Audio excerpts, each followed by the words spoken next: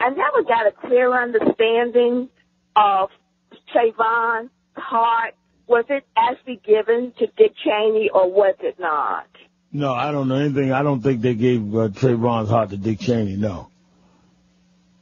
Did they give it to anyone? As far as I know, uh, his heart was not donated to anyone. I've not heard that from the family at all. But I know Dick Cheney didn't get it. Okay. All right. Well, thank you. I'm, I'm All right. cleared and, up and that's another, uh, thank you for your call. And see, that's another thing. They put out outrageous rumors that people don't know right from wrong. That's why we need to stay right on, uh, these stations and, and, and give information. Cause people innocently can be misinformed, not trying to do anything but get the right information cause you get inundated by these people that just sit around just fantasizing all day long.